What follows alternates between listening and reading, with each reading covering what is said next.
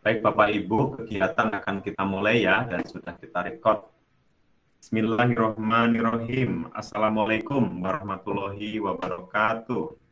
Waalaikumsalam warahmatullahi wabarakatuh. Ya, selamat siang Bapak Ibu semua. Semoga semuanya dalam keadaan sehat ya, berbahagia selalu di mana pun berada. Bapak Ibu, pertama-tama terima kasih atas kehadirannya di pelatihan hari keempat hari yang terakhir ya di tahap satu. Tapi nanti masih ada tahap yang kedua ya. Kita mulai hari Senin, Bapak Ibu.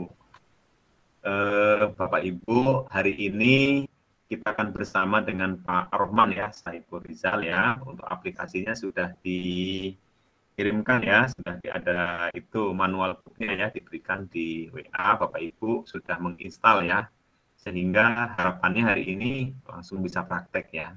Bapak Ibu tanpa berlama-lama ya waktu dan tempat saya persilahkan Pak kepada Pak Arman Saiful Rizal untuk membimbing ya untuk tutorial ya eh, teman-teman kami yang ada di forum MGMP.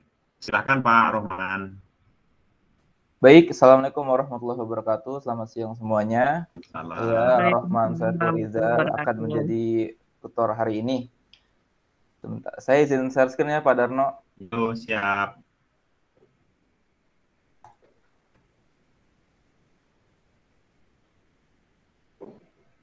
Nah, apakah sudah tampil? Sudah Pak. Baik. Sudah. Oke. Eh, Pertama-tama saya mengucapkan terima kasih kepada Pak Darno dan Pak Adi atas kesempatan hari ini. Saya akan membawakan uh, presentasi atau konsep mengenai augmented reality. Jadi saya mau mengenalkan kepada Bapak Ibu sekalian mengenai konsep augmented reality yang sedang tren sekarang. Nah, apa aja yang saya akan bahas di presentasi kali ini? Saya akan membahas pengenalan dan perbedaan augmented reality dan, dan virtual reality. Bedanya apa? Lalu e, contoh singkat aplikasinya. Terus jenis pindai pada augmented reality. Keempat, implementasi augmented reality pada kehidupan kita sehari-hari. Jadi apa aja yang bisa kita lakukan dengan fitur augmented reality ini? Dengan teknologi augmented reality ini. Lalu yang terakhir, platform yang akan digunakan untuk uh, pelatihan hari ini. Nah, yang pertama, saya akan menjelaskan poin pertama. Nah, menurut ahli, augmented reality itu apa sih? Augmented reality itu adalah sebuah teknologi yang menggabungkan benda maya, 2D atau tiga dimensi, ke dalam lingkungan nyata, lalu memproyeksikan benda maya tersebut dalam waktu nyata. Menurut Pak Rodavan tahun 2014. Nah, sebenarnya apa sih augmented reality dan VR itu? Sebenarnya dua-duanya itu serupa, tapi tidak sama. Nah, dua-duanya ini termasuk dunia virtual. Nah, hanya saja kalau augmented reality atau AR, itu objek digital masuk ke dunia kita. Selain itu, kalau VR, kita yang masuk ke dunia virtual. Seperti itu. Nah, ini contohnya. Kalau virtual reality dan augmented reality. Kalau misalnya yang sebelah kiri, ini adalah augmented reality. Dinosaurusnya. Jadi objek nyata itu kursinya, Bapak Ibu sekalian. Dinosaurusnya ini masuk ke dalam kita, ke dunia kita. Jadi objek digital itu masuk ke dunia nyata. Nah, selain itu yang yang sebelah kanan itu kita yang masuk ke dunia mereka atau dunia digital. Jadi kursinya atau kita nih objek nyatanya masuk ke dalam dunia virtual. Seperti itu kurang lebih. Nah, alat yang dipakai. Nah, alat yang dipakai itu cukup beda jauh sepertinya. Nah, kalau misalnya augmented itu hanya menggunakan uh, kamera smartphone, itu kita sudah bisa menggunakan teknologi ini. Nah, sedangkan VR atau virtual reality kita membutuhkan alat khusus seperti yang Bapak Ibu bisa lihat di sini orang karakter yang ini itu dia menggunakan uh, sejenis um, kacamata untuk bisa menggunakan teknologi ini. Itu. Lalu poin kedua, contoh singkat AR dan VR. Nah, ini contoh singkatnya. Nah, Bapak Ibu pasti pernah uh, punya Instagram ya, akun Instagram atau Facebook. Nah, itu kan ada fitur kayak story-nya gitu ya, kayak status. Nah, di dalam status itu kita bisa menggunakan efek-efek khusus seperti itu. Nah, itu salah satu contohnya. Nah, sedangkan VR, nah, Bapak Ibu ada yang pernah menonton film ini tidak? film Ready Player One. Nah, ini menjelaskan sangat detail konsep virtual reality, tapi dalam bentuk game. Seperti itu. Jadi kita pakai kacamata seperti yang karakter utamanya ini pegang, yang di dalam gambar ini. Nah, kita jadi memasuki dunia virtual. Seperti itu. Nah, tiga. Nah, augmented reality itu beragam fiturnya beragam, sangat beragam. Nah, saya akan mencontohkan tiga jenis apa ya, tiga jenis cara memakai augmented reality. Jadi fiturnya tuh ada beragam, tapi saya jelaskan hanya tiga. Nah, yang pertama itu marker base. Nah, marker base ini memerlukan gambar dua dimensi sebagai marker untuk memunculkan objek augmented reality. Jadi kita butuh gambar, contoh misalnya uh, brosur, misalnya brosur. Nah, nanti brosurnya itu muncul sesuatu, objek 3D atau 2D atau video semacam itu. Jadi menggunakan uh, apa ya menggunakan gambar dua dimensi untuk menjelas uh, untuk menampilkan si fitur augmented reality-nya itu. Yang kedua markerless. Markerless itu tanpa marker. Jadi uh, kita bisa melakukan scanning pada lantai, melakukan scanning pada lantai. Tadi kan kalau yang marker itu kan pada pada gambar 2D. Nah, kalau misalnya yang markerless ini uh, pada lantai di scanningnya, jadi kita tinggal arahin ke lantai seperti itu nanti muncul objek 3D-nya sesuai fitur yang digunakan aplikasinya. Nah, kalau yang dicontohkan seperti gambar ini, ada aplikasi dari IKEA, Bapak Ibu tahu IKEA kan? IKEA itu kayak itu apa namanya? Uh, tempat beli ini furnitur. Nah, dia itu menggunakan fitur augmented reality pada aplikasinya. Jadi, furniturnya ini sebelum kita beli, dia uh, bisa kita coba dulu di rumah kita. Jadi, misalnya ditempatin di sini ini cocok nggak gitu kan, kegedean atau enggak gitu. Seperti itu kurang lebih. Yang terakhir tuh fast tracking seperti tadi di awal. Instagram. Jadi uh, kalau fast tracking ini kita melakukan scanning pada wajah pada wajah kita. Lalu nanti menggunakan efek-efek yang telah disediakan pada aplikasi tersebut. Seperti itu.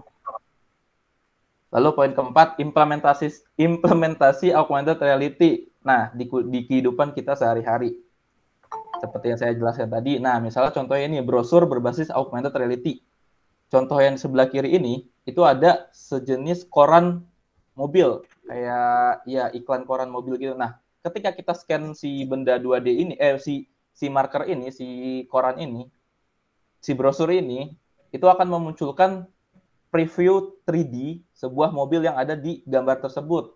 Seperti itu. Dan contoh satunya lagi ini jadi kalau misalnya kita men-scanning pada brosur furnitur nanti rumahnya ini, bentuk rumahnya, dan lain-lain sebagainya itu akan muncul preview 3D-nya. Seperti itu. Nah, kalau kedua contoh tersebut ini, ini menggunakan uh, fitur marker. Jadi kita harus men-scan si gambarnya dulu, gambar 2D dulu, si brosurnya dulu. Setelah itu baru bisa menggunakan fitur augmented reality ya? Bola Nah, Lalu yang kedua, buku pelajaran yang berbasis kedua, buku reality. pelajaran berbasis augmented Pak Roman, mohon maaf saya mute dulu all. ya. Saya mute dulu bentar. Oke. Sinyalnya lagi Pak. Nah, ini Pak Ibunya Ridya. Yang Pak Roman saya tadi saya lagi.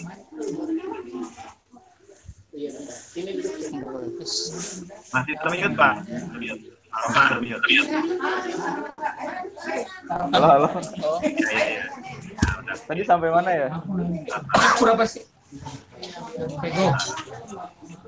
Implementasi, Pak. Implementasi. Ibu Lydia? Nih. Buat ID sampai sini ya? Ya Pak. empat ya? Ya. Hah? Buat ID. Eh, udah mau kemarin. Duduk, duduk, duduk. Harus diawasin ini. Iya, harus dipegang. Ayo, saya Hati-hati itu kalau anak. Takutnya dia saya. Colokan istri, dan nanya. Halo, ayo saya mohon maaf ini udah saya mute, Bapak buka lagi. Ya udah, silahkan lanjut Pak Rohman. Baik, saya lanjutkan dari sini ya. Nah, poin keempat yaitu implementasi augmented reality pada kehidupan kita sehari-hari. Nah, seperti yang barusan yang kita bahas. Nah, uh, browser berbasis augmented reality ini dia menggunakan fitur marker. Jadi kita harus men-scan si, si apa namanya si browsernya itu lalu bisa memunculkan fitur augmented reality ya. Contoh yang di sebelah kiri ini itu brosur mobil. Nah, ketika kita scanning si brosurnya, dia akan memunculkan preview 3D objek sebuah mobilnya. Jadi kita bisa lihat dari uh, perspektif kiri, perspektif kanan, perspektif atas, bagaimana bentuk mobilnya tersebut. Seperti itu. Nah, lalu contoh yang satunya lagi yang kanan, sebuah brosur sebuah brosur perumahan. Jadi kita bisa lihat nih, oh ini bentuknya seperti ini gitu. Jadi kita bisa lihat dari sisi kiri, dari sisi kanan, dari atas, dari samping. Itu bisa seperti itu. Jadi preview 3D. Nah, contoh satunya lagi, ini buku pelajaran berbasis augmented reality. Nah, buku pelajaran ini jadi bisa kita gunakan kayak animasi, terus kemudian kita masukkan ke dalam si fitur augmented reality ini. Misalnya buku anak-anak pelajaran kayak contoh yang sebelah kiri ini nih. Ini kan ke, uh, ada gambar kura-kura. Nah, nanti kura-kura itu muncul dalam sebuah bentuk 3D animasi. Jadi ketika kita men-scan si bukunya, men-scan si buku atau memindai si bukunya nanti uh, akan muncul si 3D-nya itu, si kura-kura ini berserta animasinya. Begitu juga contoh yang satunya lagi yang sebelah kanan. Dia akan muncul si gambarnya dan 3D objeknya seperti itu. Nah, contoh lainnya yaitu augment, uh, game berbasis augmented reality. Nah, Bapak Ibu pernah dengar Pokemon Go? Nah, Pokemon Go itu termasuk aplikasi atau game yang menggunakan fitur augmented reality. Nah, bedanya sama yang contoh sebelumnya, kalau misalnya Pokemon Go ini dia menggunakan fitur markerless karena tidak memerlukan marker. Hanya saja kalau misalnya ingin kita ingin membuat suatu aplikasi uh, augmented reality berbasis markerless, uh, target audiensnya itu atau target pemakainya, bagi pemakainya itu harus menggunakan kamera yang uh, handphone dengan kamera yang agak tinggi atau high end seperti itu. Agak bagus lah seperti itu. HP-HP standar kurang bisa mumpuni seperti itu. Nah, yang kelima yang terakhir, ini platform yang akan kita gunakan nanti untuk membuat suatu konsep augmented reality. Nah, kita menggunakan, uh, saya di sini akan menggunakan Unity 3D sebagai uh, aplikasi untuk membuat atau merancang augmented reality tersebut. Nah, ini contohnya. Nah, ini yang sudah jadi. Jadi, nah kalau yang di gambar tersebut dia menggunakan fitur marker. Uh, sama nanti yang akan kita buat kita menggunakan fitur marker ya. Menggunakan fitur marker. Jadi ketika si barcode-nya ini atau gambar 2D ini terpindai oleh kamera handphone kita atau kamera smartphone kita, dia akan memunculkan suatu objek. Nah, objeknya itu bebas apa saja nanti tergantung kita yang mau masukin gitu. Nah, kalau di sini jadi kayak tangan robot seperti itu. Nah, ini juga sebenarnya Unity 3D itu untuk membuat game, cuman eh, karena apa ya? Karena kemajuan teknologi gitu, eh, si game engine ini atau editor Unity ini dia bisa menggunakan fitur augmented reality, dia bisa membuat augmented reality, virtual reality dan lain-lain sebagainya. Nah, yang kita buat uh, kali ini yaitu membuat kartu gambar dengan augmented reality. Seperti itu. Uh, modelnya seperti yang tadi brosur, implementasi seperti yang nanti uh, seperti brosur yang tadi contoh. Jadi uh, ada kartu gitu, kartu baca tulis atau ya kartu kartu kartu yang ada apa yang seperti gambar tersebut. Nah, nanti kita me menambahkan apa ya? 3D yang merepresentasikan si marker tersebut. Seperti itu. Nah, jadi kita menggunakan Unity sebagai tools Moto AR, terus memasukkan kontennya nih, konten augmented reality, dan mencoba memunculkannya. Seperti itu. Nah, sekian. Ada pertanyaan sebelum saya lanjut? Bapak Ibu, silakan. Itu gambar yang di scan-nya gambar biasa atau ada gambar khusus, Pak? Nah, kalau gambar yang untuk dijadikan marker itu sebenarnya apa saja bisa Bu. Apa saja bisa gambar yang akan menjadi marker apa saja bisa asal 2D, dua dimensi seperti itu Bu. Uh, ada lagi?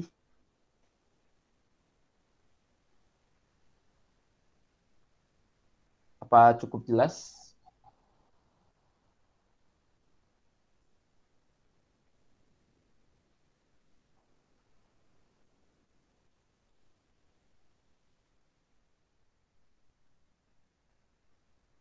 Ya Bapak Ibu sekalian, ada yang ingin ditanyakan?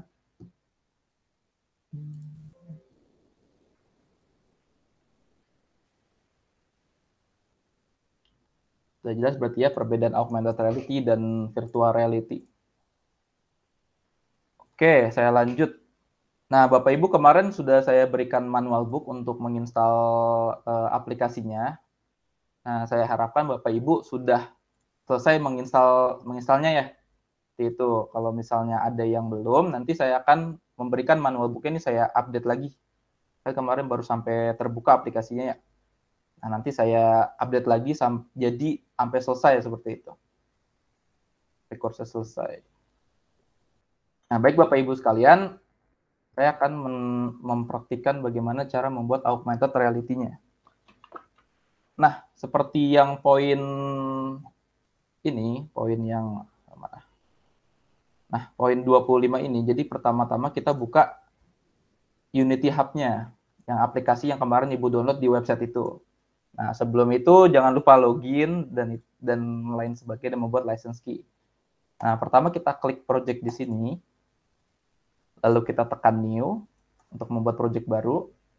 Nah, lalu beri nama projectnya sesuai yang Bapak Ibu inginkan. Contoh di sini ISDIK 2021 seperti itu. Lalu template-nya jangan lupa tekan yang 3D, lalu tekan create. Seperti itu. Nah, ini mungkin di beberapa device atau laptop akan ngebukanya sedikit lebih lama, cuman tidak apa-apa. Ditunggu. Sambil dipraktekkan Bapak Ibu ya.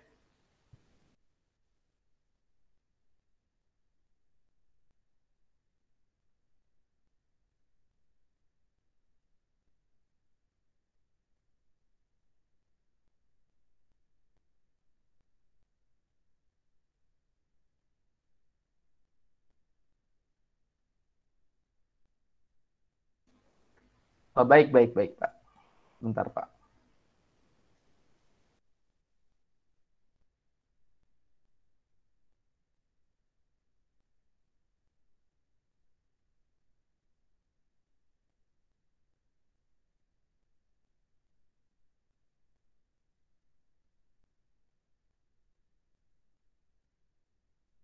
Nah, seperti yang ditampilkan di layar Bapak Ibu sekalian, ini aplikasinya sudah terbuka ya. Aplikasi ini bernama Unity 3D seperti yang saya sudah jelaskan. Nah, selanjutnya saya akan menjelaskan bagian-bagian mana atau bagian-bagian dari user interface yang ada pada Unity. Nah, yang sebelah kiri ini disebutnya hierarchy. Jadi, objek apa pun yang seperti kemarin Blender tuh, Blender kan ada di sebelah kanan sini ya. Kayak misalnya kita mau nampilin cube, nah seperti ini, kalau Blender kan adanya di sebelah kanan sini. Nah, kalau misalnya kita di Unity ada di sebelah kiri seperti itu, ini cube ini. Nah, untuk yang sebelah uh, kanan ini, ini adalah propertiesnya untuk mengatur skala, uh, rotasi dan lain sega dan lain sebagainya. Contoh saya ganti 90 60 saya ini 40 Jadi misalnya saya ganti, lalu skalanya saya bisa ubah misalnya 25, oh gedean, 2, misalnya ini 0,5, 1, atau 2, seperti itu. Bentuknya seperti ini. Gitu. Nah, ini hanya pengenalan sedikit. Nah, untuk yang project ini, itu adalah berisikan file-file atau apa pun nanti yang berkaitan dengan 3D atau aset-aset yang kita ingin uh, masukkan ke dalam ER-nya tersebut. Nah, sebelum itu di poin nomor Nah, di poin nomor 28 ini Bapak Ibu harus uh, mendownload dua file yang telah saya sediakan ke dalam sini.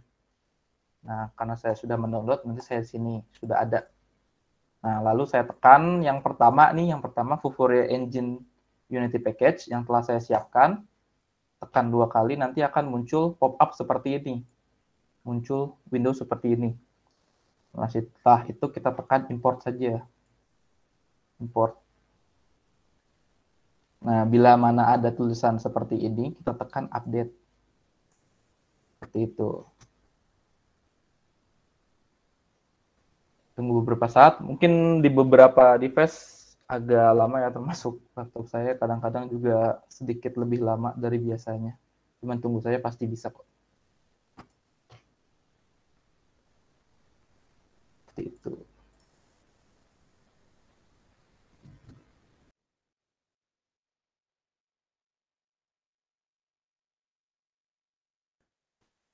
Nah, sudah ada. Jadi yang tadi sebelumnya hanya ada scene ini, sekarang ditambah asetnya ada yang ini, ada editor seperti itu. Nah, lalu setelah itu kita tekan yang kedua ini, yang package kedua ini. Tekan dua kali sama kayak yang pertama. Nah, dia muncul nih aset-aset yang telah saya siapkan dari 3D sampai dengan uh, aset Unity-nya. Nah, setelah itu kita tekan import seperti yang di awal tadi. Nah, sudah sudah kelar. Setelah itu kita Bapak Ibu ada ya pertanyaan sampai sini? Kalau kecepatan tolong ditegur ya Bapak Ibu. Saya lanjut ya. Nah, setelah itu pada hierarki, pada hierarki ini nih yang sebelah kiri, kita tekan klik kanan. Klik kanan, lalu di bawah sini ada namanya Fufure Engine. Nah, di sini ada AR kamera. Nah, setelah itu kita tekan. Gitu. Nah, jika sudah, kita sekali lagi kita tekan di sini, klik kanan, lalu Vuforia Engine, dan di sini ada namanya image target. Nah, image target ini tuh maksudnya apa sih? Image target itu sebagai marker yang nanti kita gunakan untuk memindai si atau memunculkan objek augmented reality-nya. Nah, setelah itu, di sini ada namanya main kamera ya Bapak Ibu. Ini tidak kita gunakan, maka dari itu kita hapus saja dengan cara klik kanan di bagian air eh, di bagian main kameranya. Setelah itu delete. Seperti itu. Nah, ini kan belum muncul ya si objek AR kameranya. Nah, kita setting dulu di inspektor ini. Nah, inspektor ini seperti yang saya bilang, dia seperti kalau di Windows tuh properties. Jadi kita bisa lihat seperti ukuran file dan segala macam seperti itu untuk mengubah-ubah settingannya. Nah, lalu di sini kita di dalam type-nya ini kita ganti dari from image jadi from database yang sudah saya siapkan. Nah, setelah itu database-nya ini kita ubah ke Disdik 2021. Oke. Seperti itu. Nah, dia ada banyak nih. Nah, kalau misalnya ini, yang image targetnya saya gunakan A, B, dan C, kan. Merepresentasikan si abjad ini. Nah, setelah itu kita tekan A. Akan berubah seperti ini. Nah, kita tuh mau buat apa sih? Nah, kita tuh mau buat konsep uh, kartu membaca, kartu baca untuk anak-anak. Itu. Jadi, misalnya ini huruf A, nanti ketika kita tekan, oh ini huruf A, bisa muncul 3D huruf A-nya, dan bisa juga muncul 3D uh, eh, objek yang merepresentasikan huruf A. Contoh di sini apple, A apple, B bebek, seperti itu. Nah, bila sudah, kita lakukan hal yang sama seperti tadi, kita tekan klik kanan, Vuforia Engine, lalu image target. Seperti itu. Nah, ini settingan sudah sama nih, tapi ini tumpang tindih nih, apa namanya, e, posisinya tumpang tindih. Nah, lalu kita tekan di sini nih, nih, untuk mengubah orientasi, bukan mengubah, merubah posisi dari yang kanan misalnya ke kiri gitu. Seperti kita tekan dulu, lalu kita tekan mana yang ingin diubah seperti ini. Lalu kita tekan yang di ini untuk mengubah jadi sebelah kiri di kita ubah jadi sebelah kiri. Oh, ininya lupa saya iniin. Jadi kita klik lagi from database, kita klik lagi di Diken 2021, lalu kita ubah misalnya jadi huruf B. Baru kita kesampingkan. Nah, baru muncul dia. Itu. Nah, ada cara yang lebih mudah lagi selain kan kita kayak klik kanan kayak gitu-gitu kan. Tadi kan kalau misalnya diklik di klik kanan bikin ulang lagi, kita harus mengatur ininya lagi ya Bapak Ibu jadi kita bisa delete dulu, setelah itu kita tekan satu, kita menggunakan shortcut seperti yang Blender kemarin. Menggunakan kontrol, tekan kontrol, dan huruf D secara berbarengan, secara bersamaan. Nah, dia akan muncul dua seperti ini. Nah, lalu tinggal kita klik salah satu, lalu kita geser. Nah, dua-duanya masih sama kan A dan A gitu. Kita mau ubah si ini jadi huruf B atau C. Gitu. Tinggal kita ke kanan ini, kita klik dulu, kita ubah di inspektor, lalu kita tekan B. Seperti itu. Untuk yang C sama juga, kita tinggal Ctrl D lagi secara bersamaan, lalu kita geser ke samping, lalu di image target ini kita tekan huruf. Seperti itu. Nah, kalau sudah seperti ini baru kita masuk, kita akan memasukkan kontennya. Nah, di sini ada prefab, folder prefab. Nah, prefab itu 3D. Ini 3D yang sudah saya siapkan. Ini yang kemarin kita buat ya Apple. Terus kita saya buat bebek sama coklat juga. Saya masukkan dalam CD. Nah, lalu saya sudah import jadi prefab. Prefab tuh apa sih? Prefab tuh kalau misalnya kita masukkan, ntar saya ubah ini dulu. Nah, kalau 3D kita langsung masukkan ke sini, dia kecil. Tuh, kecil. Dia kita harus ngubah ininya dulu. Nih, 1000, 1000, 1000. Baru ukurannya tuh pas. Nah, kalau misalnya kita ingin meng-save ukuran ininya nih, ukuran settingan itu ke dalam bentuk 3D lagi, kita tinggal drag and drop ke, ke dalam si aset ini, si project yang ada di sini. Nah, baru settingannya kubah. Seperti itu. Nah, cuman karena saya sudah buat, jadi kita tinggal buka folder prefab yang di sini. Nah, setelah itu kita masukkan contoh misalnya saya ingin memasukkan apel ke dalam si uh, ini, si apel ini. Nah, lalu kita tekan. Nah, tinggal kita tekan. Nah, kita arahkan sampai berwarna abu-abu ke dalam image target ini. Setelah itu lepas. Seperti itu, Bapak Ibu. Nah, ini kalau misalnya di scan, nanti akan muncul si apelnya ini. Oke, saya coba. Saya mohon izin matikan kamera yang di dalam sini dulu ya.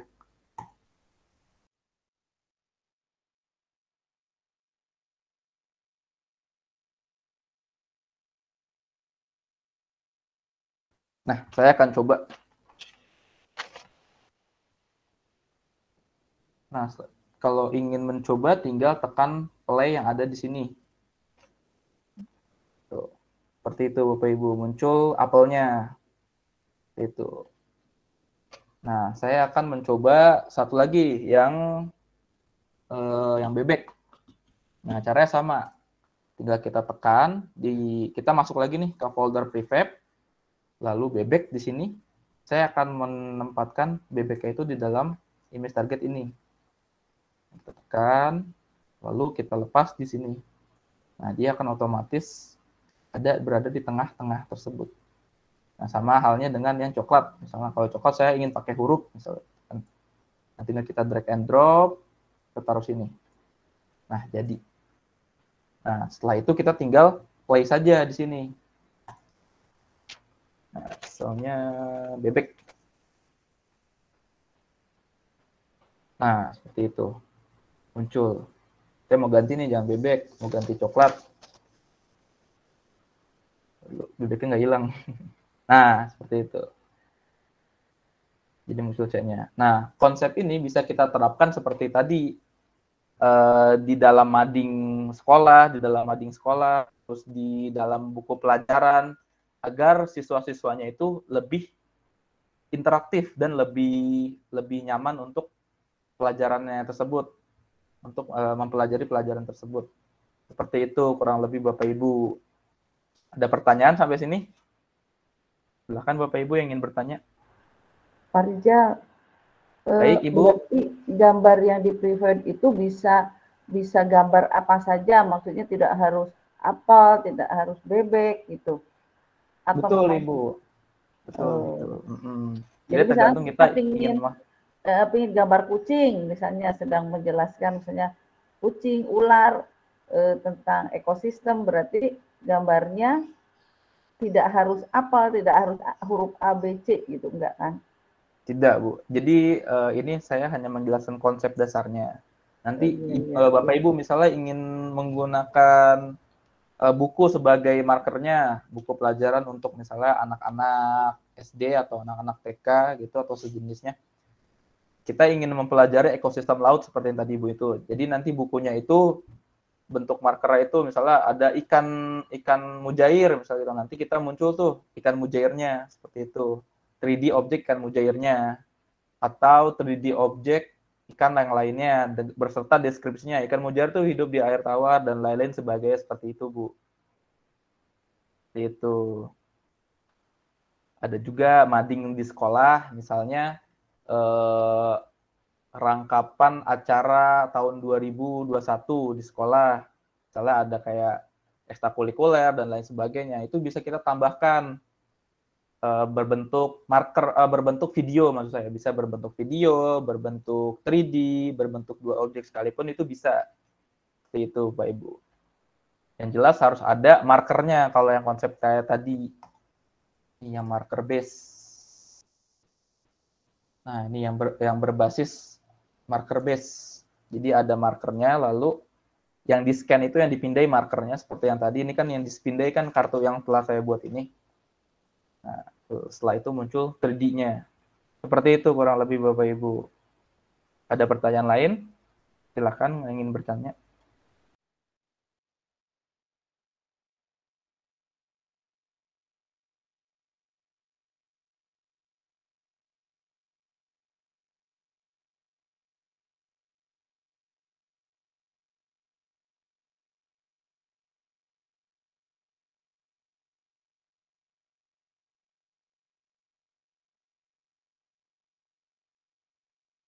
Uh, baik, uh, Pak Darno, sepertinya hanya sampai di sini Pak penjelasan augmented reality dari saya. Saya kembalikan lagi kepada Pak Darno.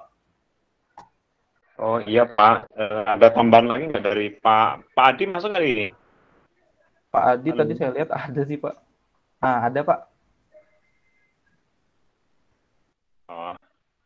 Ya kalau memang sudah selesai ya kita Bapak Ibu silahkan kalau masih ada yang mau ditanyakan ya mungkin yang sudah mempraktekkan ada kendala gitu?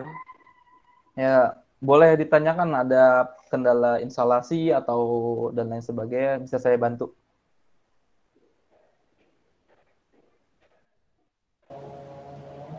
Uh, maaf Pak Rijal, eh, tadi yang file yang di Google Drive itu kok nggak bisa di-download ya?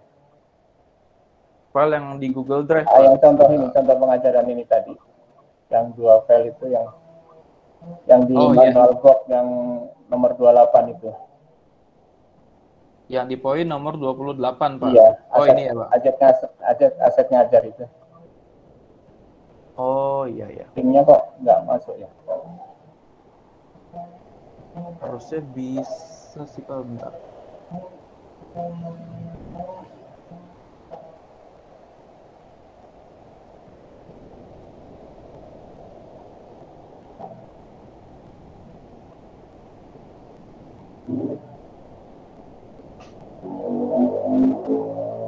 Nah, yang ini ya Pak?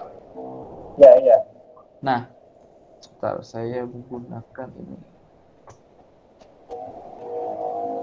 Nah, ini tinggal ditekan salah satunya dulu Pak, atau Bapak bisa tekan download semua itu Pak? Enggak, di, di saya kok nggak bisa masuk ke drive itu ya? Nggak bisa di, masuk ke drive Pak? Uh, Ada tulisan errornya tidak Pak? Di sini maksudnya kok mengupdate browser untuk menggunakan Google Drive gitu apa harus diupdate? Oh, kalau boleh tahu Bapak pakai browser apa ya, Pak? Browser Chrome. Chrome. Berarti iya. itu Google Chrome itu harus diupdate dulu, Pak. Atau Bapak pakai Windows 10 ya, Pak? Iya, iya. Nah, ada browser namanya Windows uh, ya Windows Edge. Bapak tinggal tekan Edge di sini, Pak. Nah, coba Bapak download pakai browser tersebut, Pak. Oh, Microsoft Edge ya. Mm -hmm. Ini yang saya pakai sekarang. Oh iya iya. Hmm, boleh dicoba dulu Pak. Iya iya, makasih ya. Ya. Yang lain ada yang ditanyakan? Ada yang mau nanya lagi?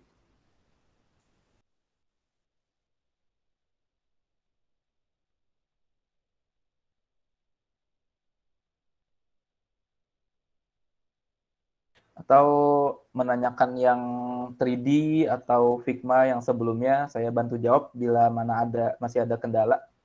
Insya Allah saya bisa. Silakan Bapak Ibu.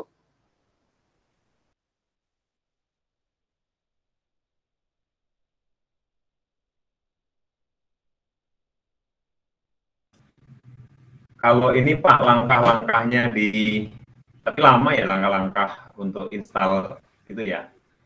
Iya Pak, uh, jadi kemarin tuh saya saya buat sedemikian mungkin, jadi kita tinggal plug and play Pak. Jadi yang hmm. di sini ini, yang di layar ini saya sudah buatkan sebenarnya kalau misalnya bingung yang tadi step-step saya ini kan saya kan ngebuka ini terus saya tambahkan dan lain sebagainya.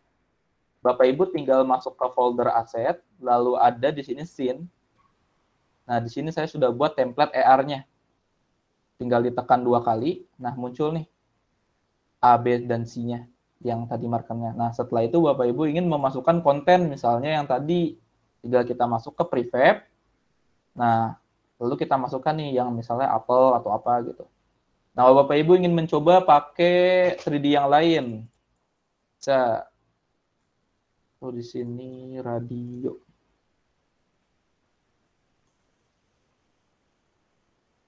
Saya ekspor dulu atau ada yang sudah jadi kalau tidak salah.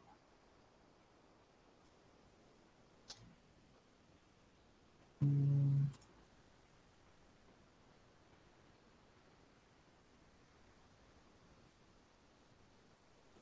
Nah, misalnya ini saja tampak yang telah saya buat. Nah, misalnya saya ingin memasukkan 3D objek dari luar seperti itu misalnya kan. Nah, Bapak Ibu bisa download dari berbagai website untuk 3D-nya. Nah, saya biasanya sih menggunakan yang namanya ini Bapak Ibu. Sketchpad. Menggunakan uh, website ini untuk mendownload aset-aset 3D. Misalnya saya ingin download uh, cat pink. Nah, kita cari yang gratis. Nah, di sini ada yang bayar, ada yang gratis, tergantung. Ini yang mana? Nah, misalnya saya ingin mendownload yang ini nih.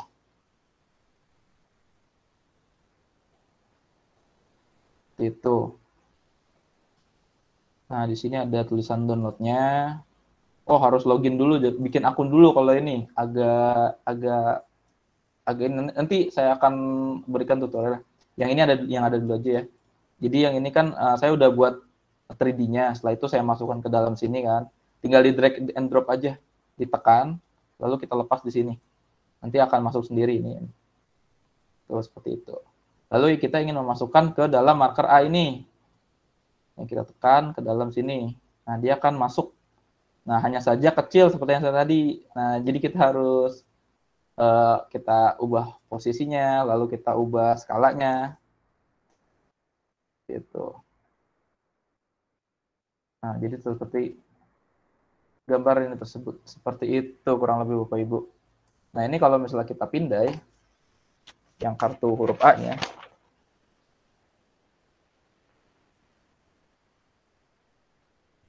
Bentar.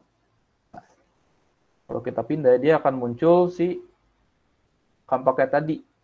Nah, kurang lebih seperti itu, Bapak Ibu.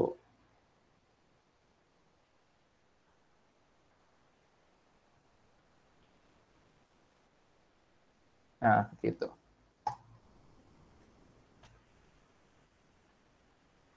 Ada yang mau ditanyakan lagi, Bapak Ibu?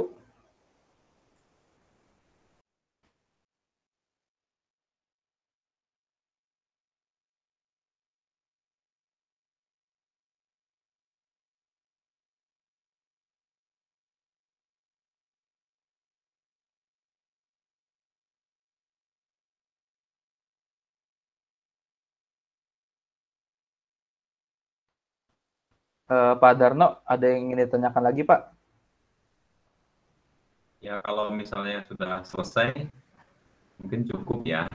Kalau ini nggak ada suara ya, Pak? Nggak ada sound ya? Nggak ada ini. Kalau di bisa, bisa Pak, dibikin kita masukkan sound dan segala macam itu sebenarnya bisa Pak di Unity. Cuman itu ada tutorial tambahannya lagi gitu, Pak. Ada cara cara lainnya. Tepat jet. Bagaimana Ibu Mini?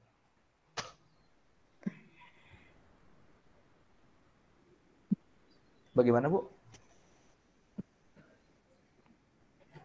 Ya, itu dengan yang lain itu.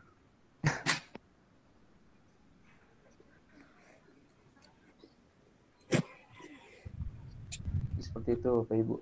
Ditambahkan sound bisa, jadi nanti kita harus ada, tapi uh, dibikin, dibikin 3D-nya itu nanti di Blender kita tambahkan sound dan lain sebagainya. Jadi kita tinggal mengimport dari aset yang tadi ke dalam Unity-nya tersebut. Tinggal tekan ini terus kita drag ke sini lagi. Nah, langsung uh, dibuat ini lagi, dibikin ER tersebut. Seperti itu kurang lebih Bapak Ibu. Nanti ini di copy ke mana Pak ini Pak kalau ngajar ini? Di copy gimana Pak? Untuk pembelajaran ke anak-anak. Hmm, nah ini nanti bisa kita buat dalam bentuk aplikasi Pak. Bisa kita install di Android, di, di handphone Android atau iOS masing-masing. Cuman saya biasanya karena saya nggak punya iOS ya Pak, jadi biasa saya nge, nge ininya tuh ke dalam Android Pak. Nah untuk nge-build aplikasinya, nanti saya sekalian upload ke Google Drive yang kemarin tuh, yang di step berapa tadi? Step 18 ya kalau nggak salah. ah, yang tadi deh ntar saya masukin ke dalam situ aplikasi ntar bapak ibu bisa coba. Dan saya akan masukkan aplikasi yang saya buat yang saya buat yang sejenis kayak gini cuman sudah komplitnya untuk dicoba. Nah kalau misalnya kita ingin eh, menjadikan aplikasi ini sebuah sebuah aplikasi maksudnya kita buat AR ini jadikan aplikasi bagi Android kita tinggal menekan file lalu build setting Nah, di sini kan masih build setting ini platformnya kita untuk apa? Misalnya untuk Android. Ya ada tiga kita tekan switch platform. Itu. Lalu tunggu beberapa saat.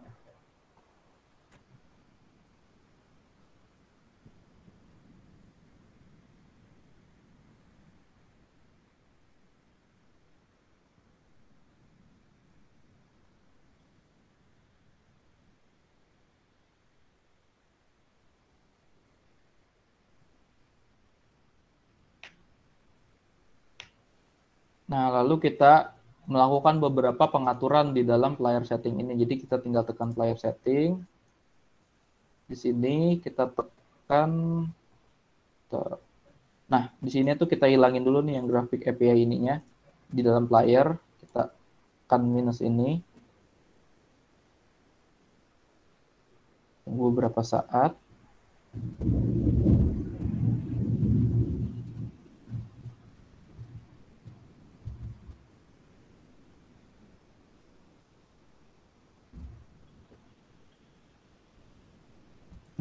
Lalu kita tinggal tekan build ini nih Bapak Ibu. Nah, lalu kita misalnya kita namai test app. Nah, ini nanti dalam bentuk APK untuk bisa diinstal di Android. Nah, kita tinggal tekan save. Seperti itu. Kita tunggu beberapa saat. Nah, setelah misalnya sudah, nanti bisa kita coba di Android masing-masing tinggal kita install kita buka file terus kita install. Seperti itu kurang lebih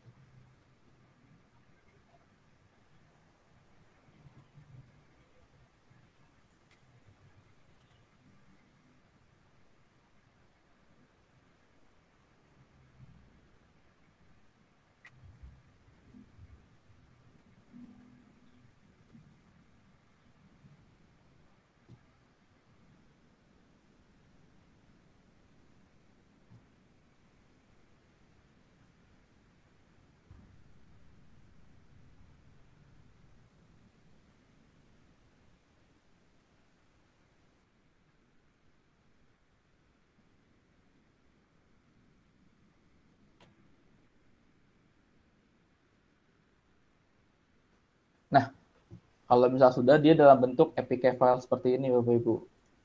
Nah, ini bisa kita copy langsung ke Android, lalu kita coba seperti itu, kurang lebih. Berarti itu Pak Danarno, ada lagi Pak yang ingin ditanyakan?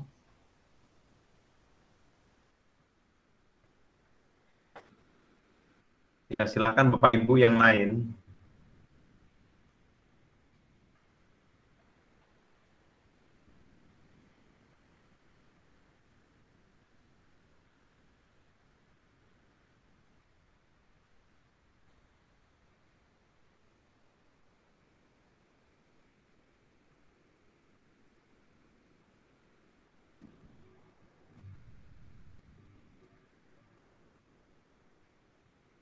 Ya kalau udah selesai kita cukupkan Pak.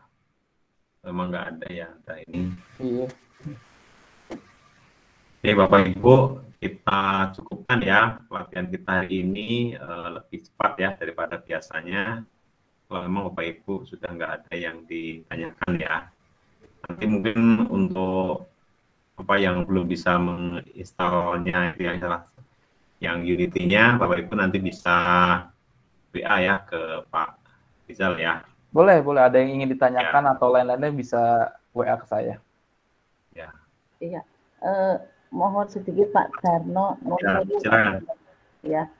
Eh, sebenarnya materi ini sangat bagus ya Pak. Cuma mungkin kendalanya tadi saya mencoba waktu install saja nih Pak Darno, Pak Rizal perlu hmm. eh, Pak Darno ketahui dan Pak Rizal ketahui itu pun saya agak lama. Istilah kalau orang Jawa itu bilangnya nanak nunuk gitu ya. Apa ya e, istilahnya kita belajar kan mungkin ya, dia juga usia saya yang sudah e, menjelang pensiun ya Pak Darno.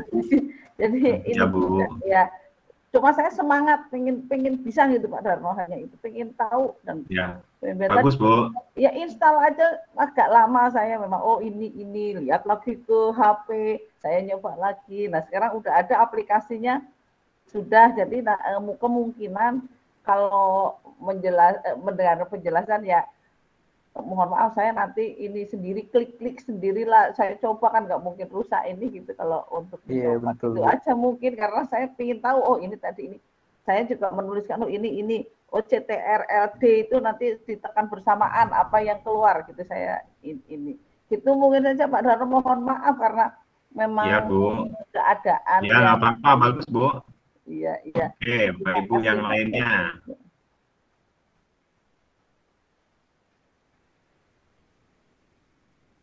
kalau memang tidak ada ya sudah ya kita cukupkan kegiatan kita ya pelatihan selama empat hari. Eh, Bapak Ibu terima kasih atas kehadirannya di pelatihan daring ya di Forum MGMP. Bapak-bapak para trainer narasumber ya terima kasih juga atas kehadirannya. Nanti kalau yang narasumber masih ada lagi ya di tahap yang kedua ya kita mulai hari Senin, Selasa, Rabu sampai Kamis ya. Eh, pesertanya bukan Bapak Ibu ini ya tidak lagi ya tahap yang kedua.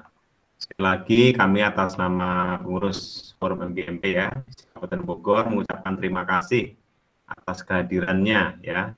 Bapak Ibu semua, juga Pak Adi Wibowo dan rekannya ya, trainer ya yang sudah mengisi pelatihan ini ya. Kita akan bertemu lagi nanti di hari Senin, Selasa, Rabu, dan Kamis ya dengan peserta yang berbeda. Pak Ibu, eh, marilah acara ini ya kita akhiri ya selama empat hari ya kebersamaan kita. Yuk kita dengan membacakan hamdalah ya. Alhamdulillah ya alamin. Ya semoga apa-apa yang diberikan oleh narasumber bisa menambah kawasan ya setidaknya Bapak Ibu bisa mengelola ya dunia dimensi ya augmented reality ya. Tadi saya sudah sudah jawab Pak Adi ya kalau ada suaranya apa eh, ya ada soundnya yang bisa diberikan kepada siswa gitu ya. Keren gitu ya nanti kita akan ditambahkan ya. kalau ini kan hanya gambar-gambar dan bisa merupakan gambar-gambar yang lain ya ada tambahan ya akan lebih menarik ya. Ya Bapak Ibu terima kasih atas kehadirannya semuanya. Eh, mohon maaf yang sebesar-besarnya ya atas segala kesilapan ya dalam melayani Bapak Ibu semua Taufik Walidaya. Assalamualaikum warahmatullahi wabarakatuh. Waalaikumsalam. Pak Adi, Pak Rijal, terima kasih. Baik Ibu, sama-sama.